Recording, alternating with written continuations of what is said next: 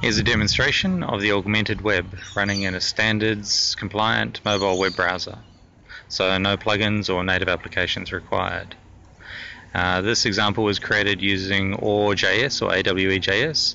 It's an open source framework that's available on GitHub.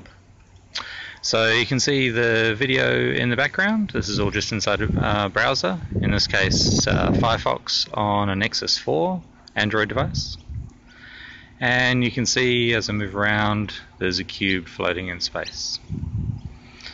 If we look over here, you can see there's another cube and this one has an image texture mapped onto it.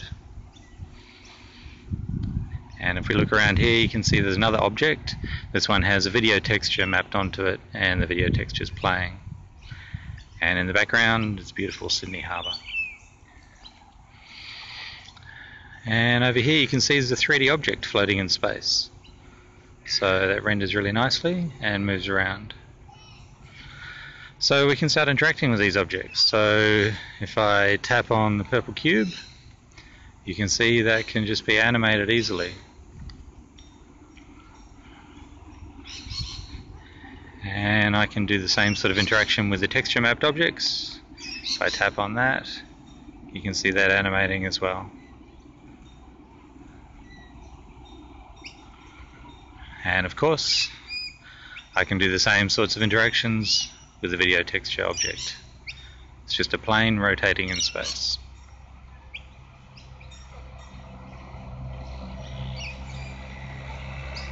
And behind us is a train driving past. Of course I can interact with the 3D model as well. It's a rocket, so we can launch it. Tap on it, and it takes off up into the clouds.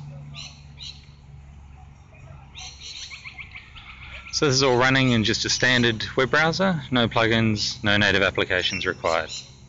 This is the augmented web.